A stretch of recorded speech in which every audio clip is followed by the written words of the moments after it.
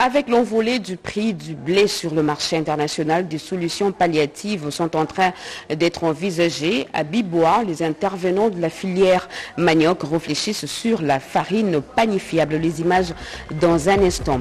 Les élections se profilent à l'horizon. La cartographie à jour s'impose. La création des nouvelles villes et autres communes perturbe la Commission électorale nationale indépendante CENI. Ces experts étaient au ministère de l'Intérieur pour un échange sur la territoriale. Dans toutes les communes de Kinshasa pour la dénonciation des Kuluna. G24 par l'honorable Jean-Marie Lukulasi concrétise la promesse. La police ne laissera nulle place où la patrouille ne passe et repasse pour éradiquer cette délinquance avec l'aide des anciens Kuluna. Voilà pour les titres. Il est 20h à Kinshasa, une heure de plus à Katanda, dans le Kassai oriental. C'est l'heure de vous informer, mesdames et messieurs. Bonsoir et très heureuse de vous retrouver à travers cette grande édition d'informations sur la chaîne nationale.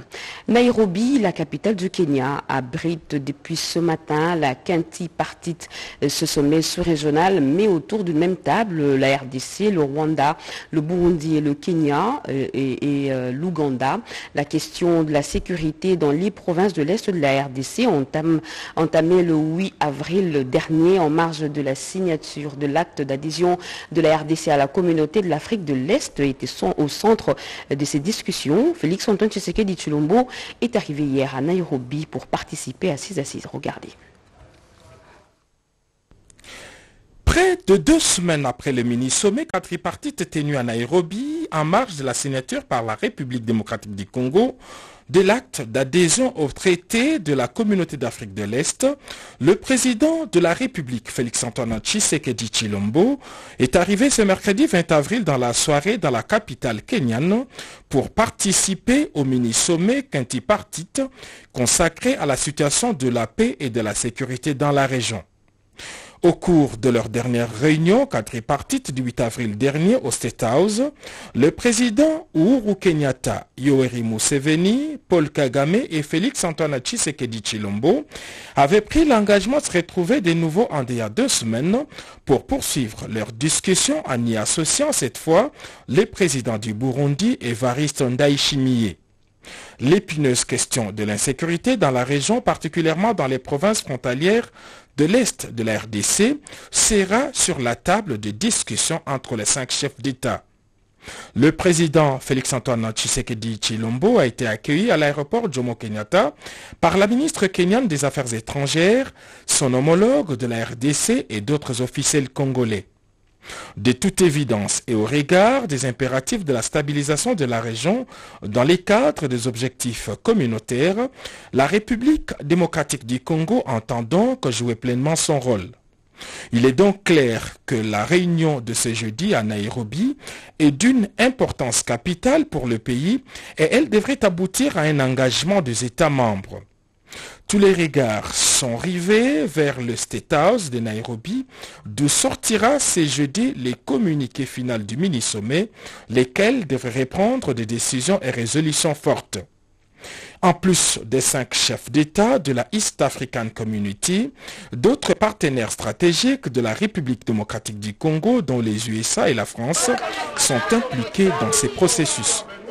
L'après-sommet de Nairobi sera suivi de plus près. L'application de la loi du 24 décembre 2011 portant principes fondamentaux relatifs à l'agriculture, le président du Sénat, Modeste Bad l'initiateur, propose des modifications qui vont la rendre applicable. Ce jeudi, l'heure était à la présentation de la proposition de loi à la plénière. Regardez. Ceci n'arrive pas tous les jours qu'un président du Sénat abandonne son fauteuil au perchoir pour se livrer à un exercice non le moindre pour tout sénateur. Modeste Bahati Lukwebo l'a fait. Le speaker de la Chambre haute du Parlement a initié la proposition de loi modifiant et complétant la loi du 24 décembre 2011 portant principes fondamentaux relatifs à l'agriculture. Promulguée depuis 2011 et mise au frigo, cette loi n'a jamais été appliquée. À travers cette modification que vient de proposer l'actuel président du Sénat, ceci va créer sans doute les conditions de son application car cette version modifiée va lever les barrières aux investisseurs et favoriser la diversification de l'économie congolaise comme le veut le chef de l'État, Félix Antoine Tshisekedi Chulombo. Dans l'hémicycle, la quasi-totalité des sénateurs a manifesté l'intérêt au cours du débat général à travers les enrichissements et les recommandations. L'initiateur de la loi a sollicité cinq jours avant de revenir répondre aux préoccupations soulevées par ses collègues. Parmi les motivations de cette proposition de loi, il y a les allègements fiscaux et la création d'un fonds pour soutenir les agriculteurs locaux. Nous avons constaté que la loi qui a été promulguée depuis le 24 décembre 2011 sur l'agriculture n'est pas d'application parce qu'il y a certaines dispositions qui rendaient l'application quasiment impossible. Vous ne pouvez pas appeler quelqu'un, vous lui dites vous venez investir chez nous, mais c'est nous qui allons être majoritaires dans votre capital alors que nous n'avons pas amené le capital. Donc cette disposition a fait que beaucoup de gens qui voulaient investir n'ont pas pu le faire. Maintenant, nous proposons des améliorations pour qu'on puisse obliger que lorsque des étrangers viennent investir, qu'il y ait une participation minimale de l'État ou des nationaux, mais qu'on ne puisse pas bloquer les principes de la loi OADA en ce qui concerne la constitution des entreprises. Il faut noter que la plénière avait peu avant suivi la réponse de la ministre de la Culture, Art et Patrimoine qui réagissait à la question orale avec débat lui adressée par le sénateur Denis Kambay sur le traitement discriminatoire que subissent les artistes musiciens dans l'espace Schengen. L'auteur de la question a recommandé à la ministre d'organiser une table ronde avec la diaspora afin de mettre fin à cette situation.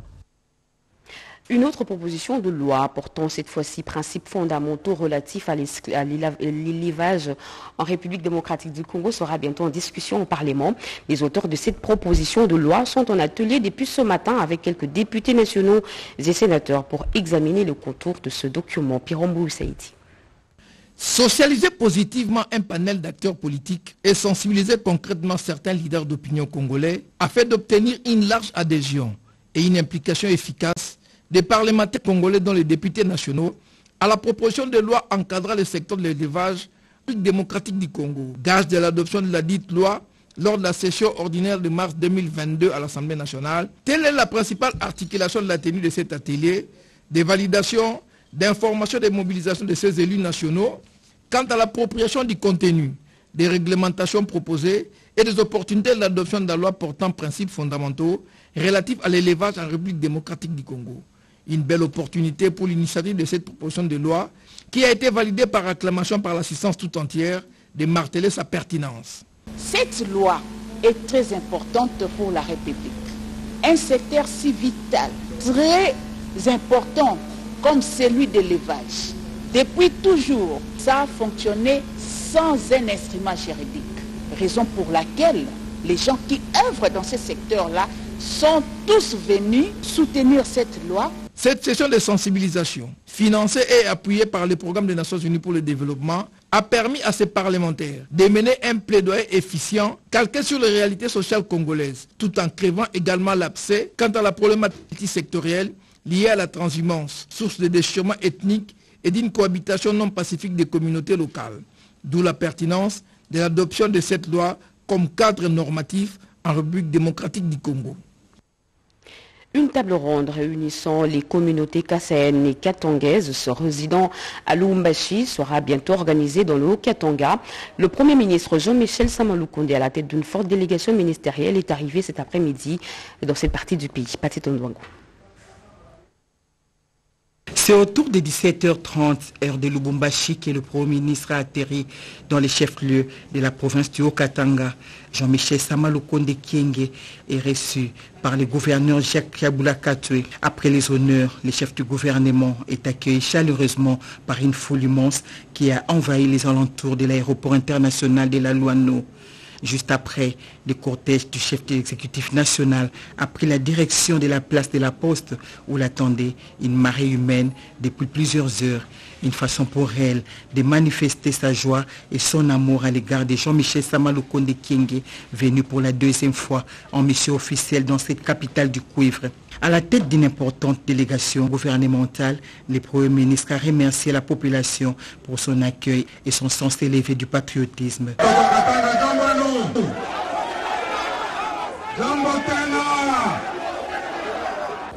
Le message, il est Message, il est moi mwenye mnaonyesha ya mapendo, mapendo. Kwangu premier ministre wa République démocratique du Congo. Na mapendo kwa ule alinituma son excellence Félix Antoine Tshisekedi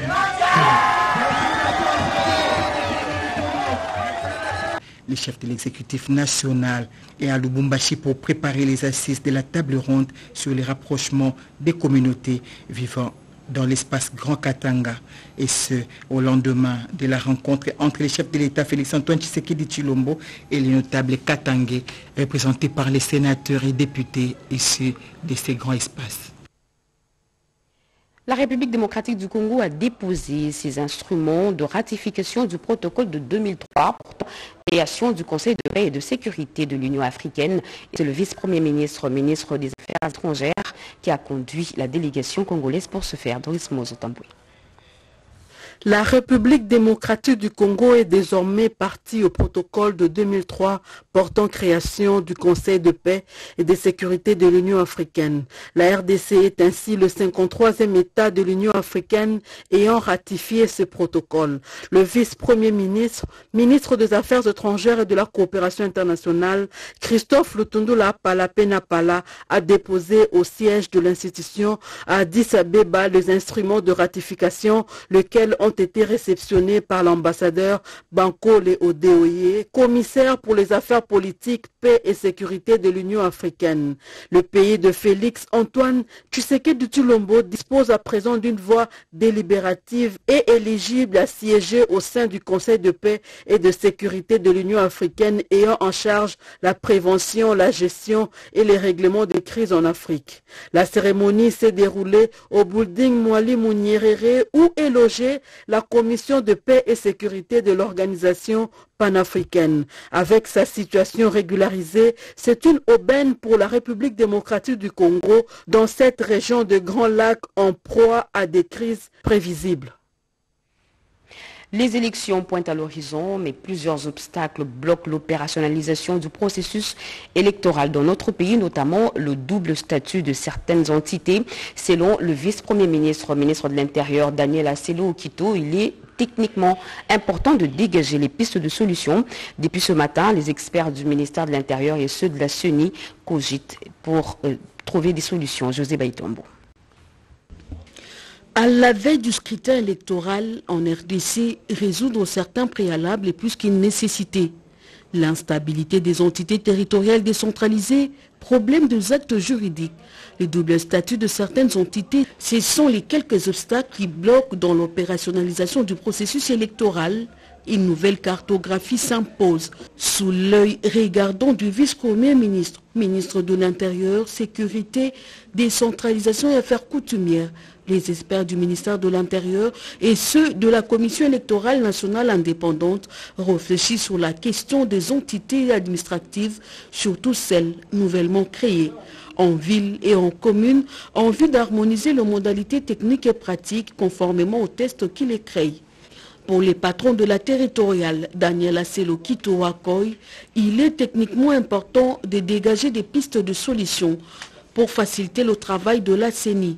Une commission paritaire a d'ailleurs été constituée et elle devra apprécier toutes les préoccupations évoquées afin de proposer dans un délai court à la CENI des solutions appropriées à cette problématique. Bien avant, le vice-premier ministre en charge de l'intérieur et sécurité a reçu dans son bureau la nouvelle représentante résidente du Haut Commissariat des Nations Unies pour les réfugiés en République démocratique du Congo. Avec Angèle Di Tangana, Les échanges ont tourné autour des dossiers en suspens des réfugiés dans la sous-région en Afrique centrale.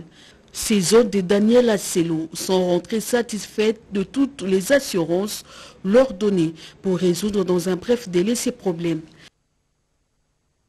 Entre-temps, le processus électoral doit être financé et la Norvège réaffirme son soutien à la CENI pour des élections inclusives, crédibles et transparentes. Le diplomate norvégien l'a dit au président de la Commission électorale nationale indépendante, Denis Kadzima Titi au cours de cette rencontre avec le président de la Commission électorale nationale indépendante, Denis Kazima Kazadi, le chef de la mission diplomatique norvégienne a réaffirmé au numéro 1 de la centrale électorale le soutien financier de son pays au processus électoral en cours. En République démocratique du Congo, relevant qui s'est déjà engagé via le programme des Nations Unies pour le développement PNUD en vue d'accompagner la CENI dans l'organisation des élections que tous souhaitent inclusives, transparentes J'ai eu l'occasion d'échanger avec le président de la CENI sur les, préparations pour les élections de 2023. La Norvège euh, veut bien être un partenaire euh, pour que les élections soient transparentes, crédibles et inclusives.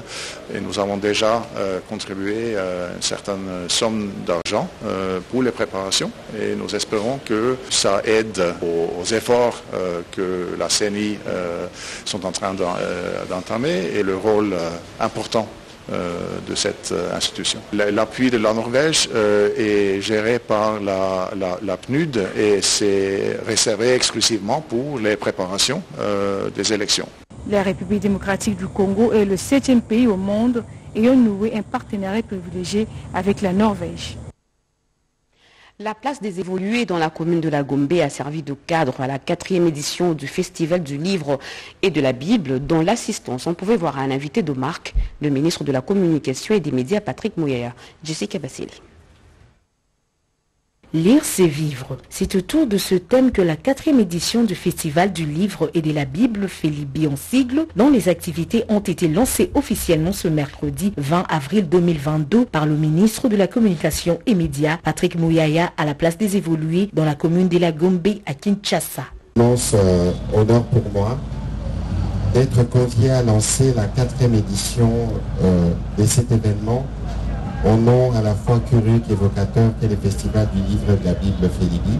Ravi de cette initiative, grâce à laquelle les enfants notamment sont à la quête de l'apprentissage. Patrick Mouyaya a démontré toute l'importance de la lecture qui permet de voyager et d'apprendre du monde. C'est donc une belle initiative de voir toutes ces bonnes sœurs qui se dévouent et tous ces enfants qui finalement qui sont à la quête de l'apprentissage parce que je pense qu'il y a aujourd'hui moyen de s'occuper d'une langue sainement et la meilleure manière de s'occuper, je pense que c'est en lisant, parce qu'avec la lecture, on peut voyager son visa et on peut apprendre tout du monde. Plusieurs exposants ont rehaussé de leur présence dans le lancement officiel de ce rendez-vous culturel et scientifique organisé par les éditions Mediaspol et Pauline. La République démocratique du Congo a désormais un ambassadeur à la Cour commune et d'arbitrage de l'OADA. Vous le savez, son nom c'est Jean-Marie Kambouma. Il a été élu récemment à Niamey au Niger en qualité du premier vice-président de cette juridiction. La ministre de la Justice explique le contour de cette élection au micro de Oscar. Ce point de presse a permis à la ministre d'État, ministre de la Justice, Rose de présenter l'homme du jour, Jean-Marie Kambama, élu juge à la Cour commune et d'arbitrage de l'OADA sur les cinq postes qui restaient à pourvoir. Au-delà du profil du candidat aligné par la RDC, 25 ans d'expérience en tant que magistrat jour pour jour, un véritable lobbying a été mené au sommet de l'État et du gouvernement. La mission de cette juridiction, c'est de dire le droit, c'est de rendre justice trancher les litiges et donc euh, gérer les contentieux commerciaux au niveau de la cassation. Qu'est-ce que la RDC gagne en étant membre dans une telle organisation? Et au niveau du Conseil des ministres, le président avait instruit pour qu'on puisse effectivement euh, payer ses arriérés pour que notre candidat puisse être accepté.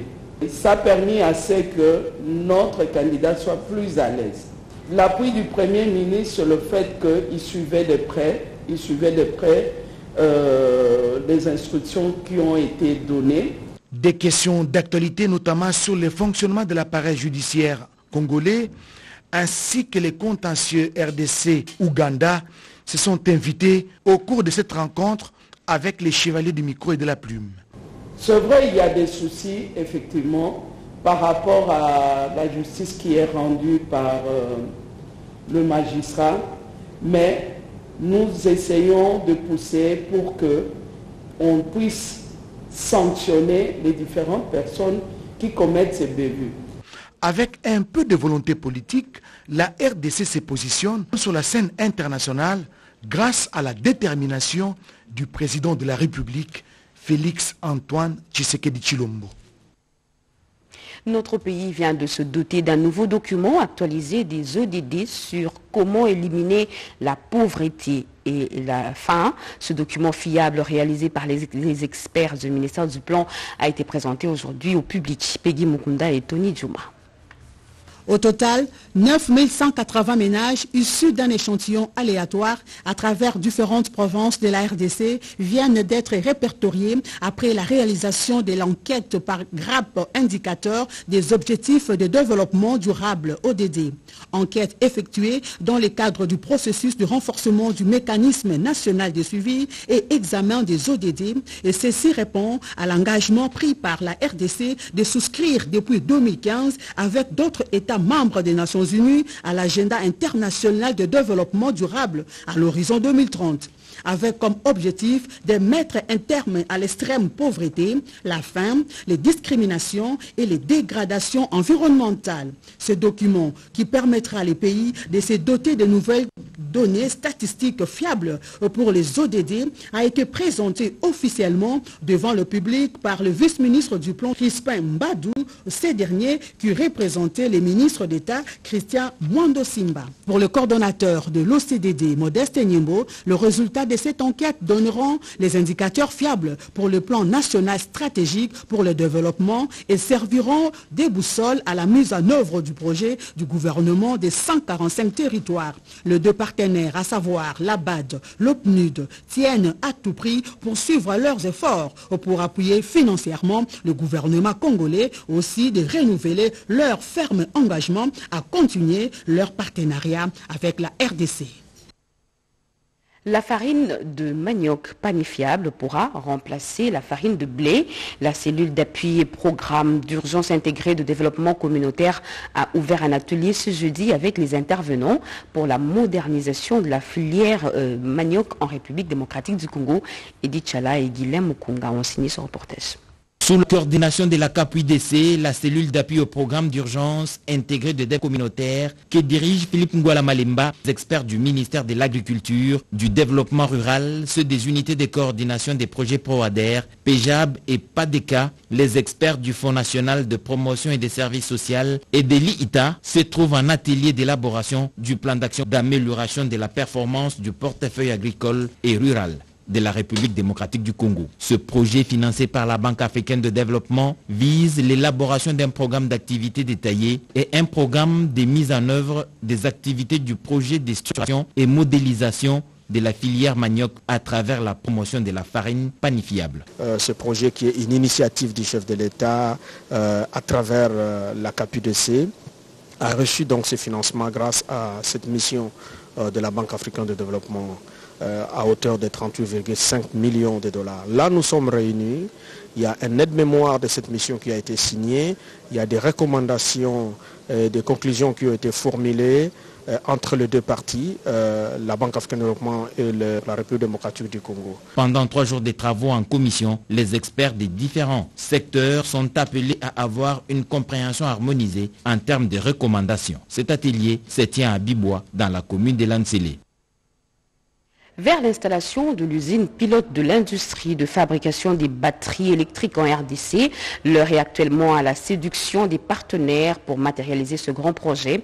À Lubumbashi, quelques membres du gouvernement conduits par le ministre de l'Industrie, Julien Paloukou, ont discuté avec quelques investisseurs. Diane Balaka, commentaire. C'est un premier grand pas qui est en train d'être franchi pour l'installation de l'usine pilote de l'industrie de fabrication de batteries électriques dans le Haut-Katanga. Ces quatre membres du gouvernement conduits par le ministre de l'Industrie qui ont fait le déplacement pour Lubumbashi tentent de convaincre les investisseurs pour s'approprier ces grands projets. Face à eux, au cours de ces échanges de haut niveau avec les responsables des différentes banques œuvrant en République démocratique du Congo, ces membres du gouvernement ont démontré chacun dans son secteur tous les enjeux contenus dans ces projets, une initiative du président de la République Félix Antoine Tshisekedi Chilombo. Réunion élargie à d'autres financiers étrangers, eux des délégués de la Commission économique des Nations Unies pour l'Afrique qui ont réitéré leur engagement respectif pour matérialiser ces grands projets. Les partenaires financiers doivent risquer avec les RDC pour capter une partie de la masse monétaire qui circule autour de l'industrie des batteries et véhicules électriques évaluée à 10 000 milliards de dollars américains d'ici 2025-2030, a lâché le ministre de l'Industrie lors de son speech. Bien avant ces échanges, ces membres du gouvernement ont visité la faculté des polytechniques de l'université de Lubumbashi. Question de se rendre compte de matériel utilisé car elle pourrait être associée à ces projets de fabrication des batteries électriques en RDC. La G24 de l'honorable Jean-Marie Lukulassi met sur le terrain des médiateurs pour traquer les Koulouna en appui à la police nationale congolaise et annonce la formation de 50 nouveaux autres. Regardez. Anciens Koulouna, devenus médiateurs. Ils sont 24 désignés pour faire le travail de conscientisation des jeunes délinquants qui pourrissent la vie aux paisibles citoyens dans les 24 communes de la capitale. Ces médiateurs vont amener les Koulouna à la raison par une identification, sensibilisation, réinsertion sociale après désintoxication. L'honorable Jean-Marie Lukula Simasamba qui s'est fixé l'objectif d'être une alternative du bâton pour ces délinquants reste droit dans ses bottes. En recevant les responsables des médiateurs de toutes les communes dans son bureau, l'élu de la FUNA leur offre une rémunération stable mais aussi une prise en charge médicale pour eux et leurs dépendants à travers la couverture maladie universelle. Et leur mission est claire. Ce sera pour ceux qui auront choisi la voie de la raison. Les autres auront maille à partir avec les pouvoirs publics. Comme on peut le voir, l'honorable Jean-Marie Lukula Simasamba est très déterminé dans ce combat contre la délinquance juvénile.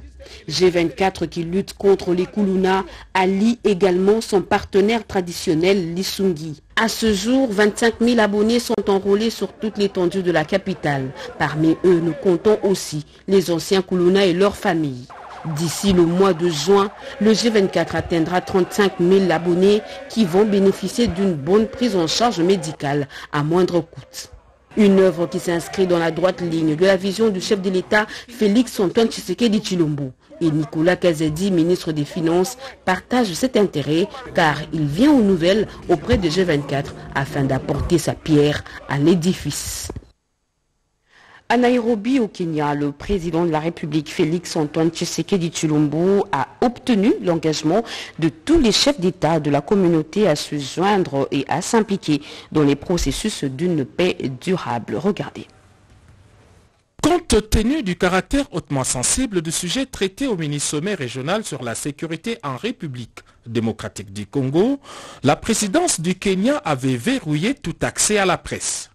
Après quatre heures d'échange entre le président Uhuru Kenyatta, Yoweri Museveni, Evariste Ndayishimiye, Félix-Antoine Tshisekedi Chilombo et les ministres rwandais des Affaires étrangères représentant son président, les sommets quadripartites de Nairobi a pris un certain nombre de résolutions, dont la plus importante reste l'engagement de tous les chefs d'État de la communauté à se joindre et à soutenir les processus qui visent à mettre définitivement un terme à l'activisme des groupes armés locaux et étrangers en terre congolaise.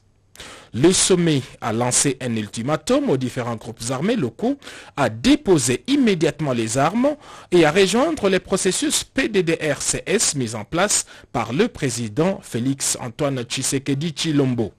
Quant aux groupes armés étrangers, ils doivent aussi déposer les armes et se rendre auprès de leurs États respectifs, puis renoncer au métier des armes.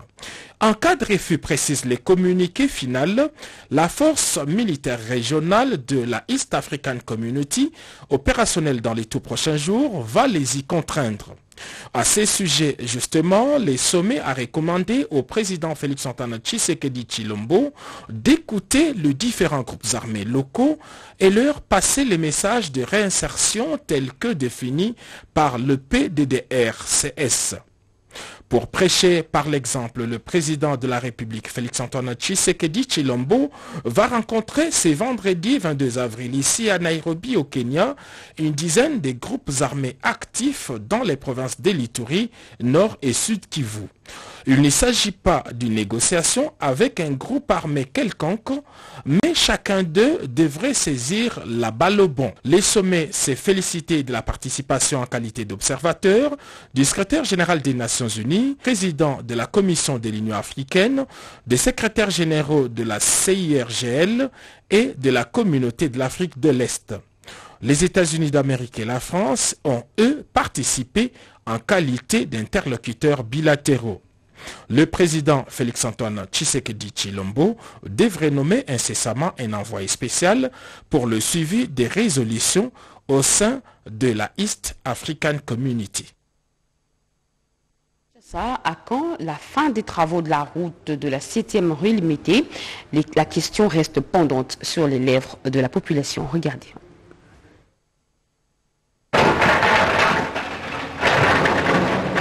La 7e rue dans la commune de Limété, quartier industriel, présente un intérêt majeur pour les usagers de la route en général et les habitants de Limété industriel en particulier.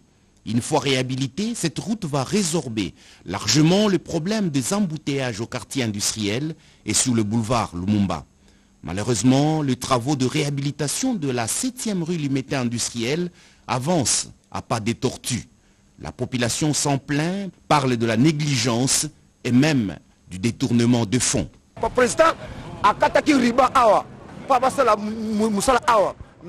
Ils ne font que bouffer l'argent.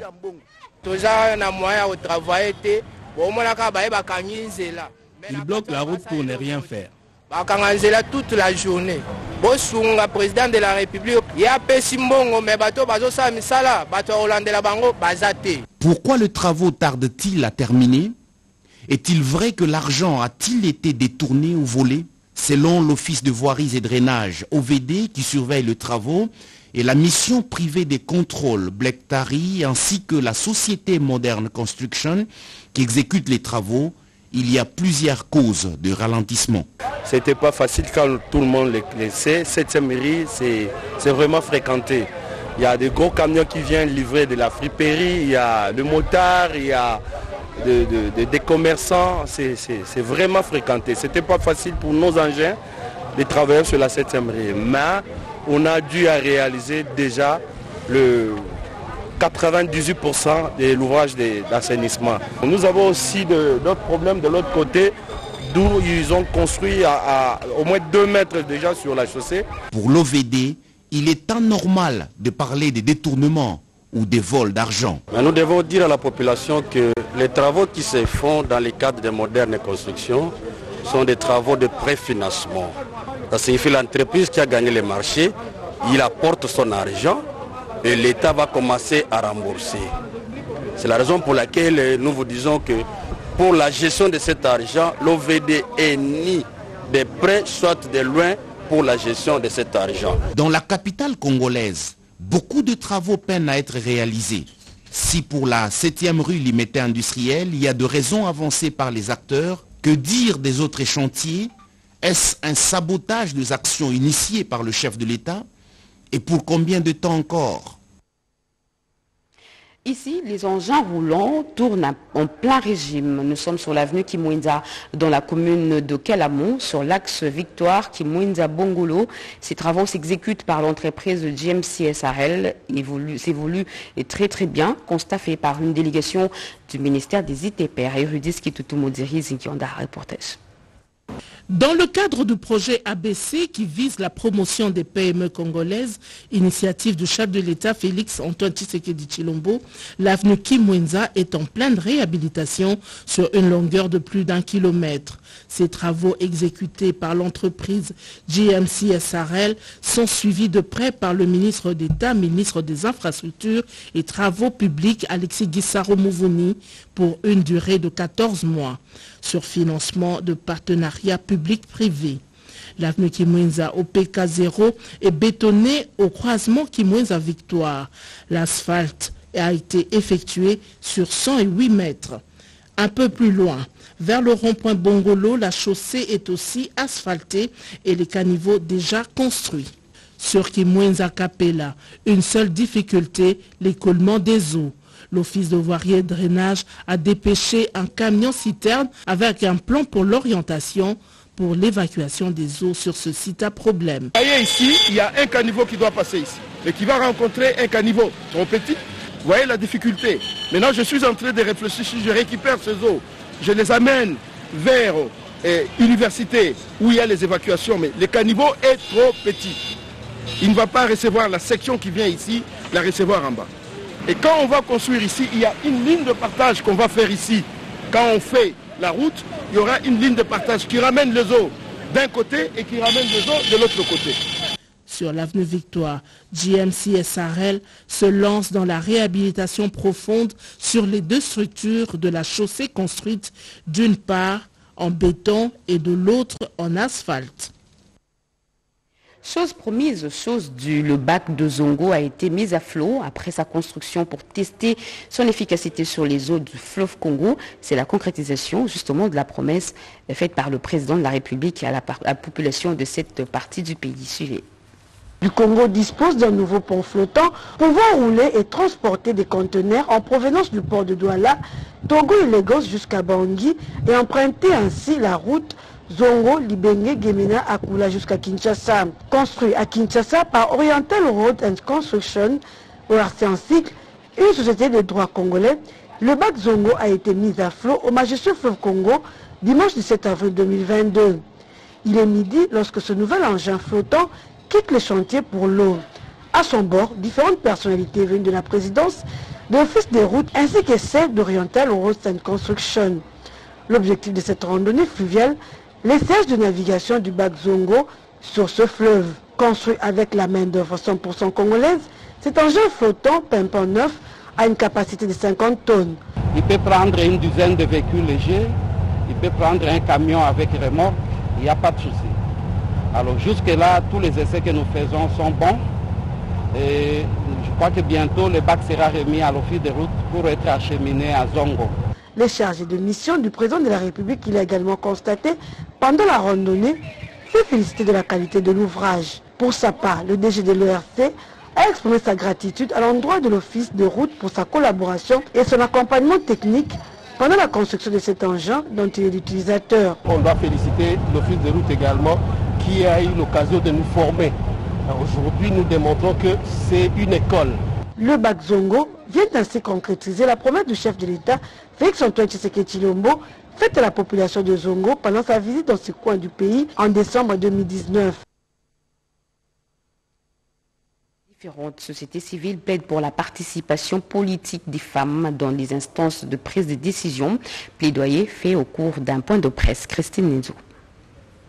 La participation politique des femmes dans les instances de prise de décision, c'est parmi les combats menés par le Comité national Femmes et Développement qu'on a fait avec l'appui de Femnet à travers Oxfam. Plusieurs activités ont été organisées à cet effet à Kinshasa, dans les autres provinces. L'on peut citer des plaidoyers auprès des autorités du gouvernement et des dirigeants des partis politiques pour les interpeller par rapport aux engagements pris. Jeanne Zouzi l'a confirmé lors de sa conférence de presse. On a vu qu'effectivement, il y a des problèmes concernant la participation politique de la femme à l'RDC. Nous avons des lois, nous avons ratifié aussi les instruments internationaux sur les droits des femmes, mais jusqu'aujourd'hui, on dit 25 ans après, donc un quart de siècle après, nous n'avons pas encore atteint les 25%, les 25% qui a été proposé par euh, la conférence de Beijing. Mais au-delà de ça, nous avons la Constitution qui prône la parité. Nous avons aussi notre loi sur la mise en œuvre de la parité et droits des femmes voilà qu'on n'a toujours pas atteint, donc il y a des défis. Les mêmes plaidoyers étaient aussi menés à Kikwit, à Bandundouville et à Bukavu sur la prise en compte du genre sur les listes électorales de 2023 aussi sur les listes nominatives conformément à la Constitution de la République. Madame Jeanne Zouzi et la PCA du CONAFED ainsi que la présidente du REFED du Congo central ont toutes dénoncé les harcèlements sexuels dans les milieux professionnels qui constituent aussi un frein à l'épanouissement de la femme les représentants des partis politiques, ceux des différentes communautés, les chefs coutumiers les différentes confessions religieuses de la province du Nord Kivu ont été reçus tour à tour par l'ancien ministre des hydrocarbures et cadre de l'UDPS. Les échanges ont gravité autour du fonctionnement de l'Union sacrée dans cette partie de la République d'Enbalaka pour le commentaire. Lecture de l'état de siège L'analyse sur l'adhésion de la République démocratique du Congo à la communauté des États de l'Afrique de l'Est, fonctionnement de l'Union sacrée en province, c'est autour de ces trois importants sujets que le ministre de taux honoraire des hydrocarbures, Rubens Mikindo, a consulté pendant trois jours presque toutes les couches sociopolitiques de la province du Nord Kivu durant son séjour dans la ville de Goma. Le premier à être reçu, les représentants de partis politiques membres de l'Union sacrée, trois heures d'échange ont suffi pour dégager d'importantes résolutions. Le deuxième jour a été consacré aux échanges avec les représentants des différentes communautés du Nord Kivu. Nous voulons la paix, rien que la paix. Nous avons constaté que si une fois les autorités de l'État du siège, les autorités militaires sont déchargés de quelques tâches administratives, ils seront peut-être efficaces sur le terrain pour les opérations.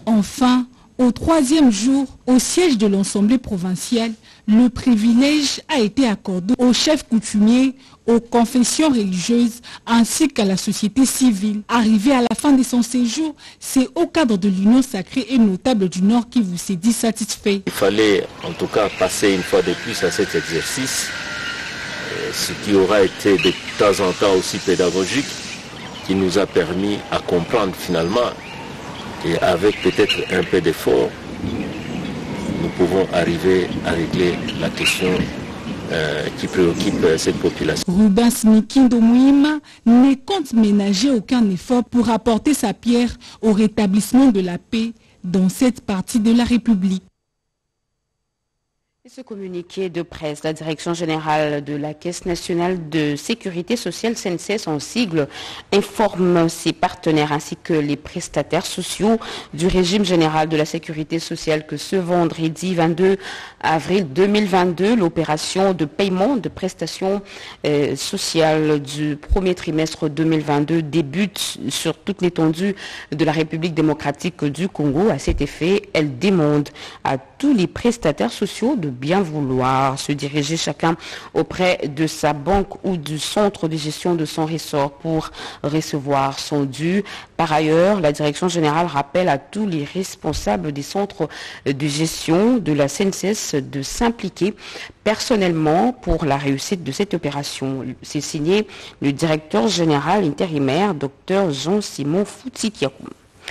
Et parlons de ce partenariat, ce partenariat d'avenir entre, euh, qui vient d'être signé entre la Robank et la Rossure. Euh, une gamme de produits vient d'être mise sur les marchés, nous dit Oscar Mbalkaïch. La Robank RDC étend ses activités dans le secteur des assurances. Son directeur général, Mustafa Roudji, l'a fait savoir au cours d'une conférence de presse organisée au siège de cette institution bancaire dans la commune de la Gombe à Kinshasa. C'était en présence de son partenaire des reçus. Mustafa Raoudji a présenté à cette occasion trois produits phares de son service. L'assurance automobile, l'assurance voyage et l'assurance Kimia, entendez P. Pour le directeur général de la Robank, ces trois produits vont permettre à son institution d'accroître sa rentabilité et son positionnement, mais aussi d'aider les Congolais à en tirer profit. L'activité développée par la Robank à travers la reçure offre beaucoup d'avantages aux Congolais notamment la réduction des risques lors d'un accident ou d'un cas de décès. Il n'y a pas mieux que l'expérience. Aujourd'hui, depuis qu'on a commencé, on a eu beaucoup de, sinistres hein, avec des demandes d'indemnisation qui sont plus ou moins importantes. Et nous avons répondu favorablement à ces demandes dans un temps record. Nous avons un capital social assez solide, on a une bonne situation, une situation stable. Et derrière chaque assureur, ce qu'on dit toujours, il y a un réassureur. Donc nous avons quand même des partenaires assez solides qui nous suivent dans la couverture des risques. Notons que la Robank a obtenu son agrément après l'aval de la Banque centrale du Congo et de l'autorité de régulation des contrôles des assurances, ARCA, avec 1850 collaborateurs, 100 points de vente, un bureau de représentation à Bruxelles en Belgique, 240 distributeurs automatiques. La Robank accompagne le développement économique de la République démocratique du Congo. Ne zappez pas, juste après ce journal, vous suivrez en page magazine la mise en place des médiateurs dans toutes les 24 communes pour conscientiser les Koulouna. L'honorable Jean-Marie Loukoulassi, à travers G24, reste déterminé dans sa lutte contre la délinquance juvénile. Et ce communiqué nécrologique, avant de boucler complètement ce journal, la maison militaire du président de la République démocratique du Congo a la profonde douleur d'annoncer aux compagnons d'armes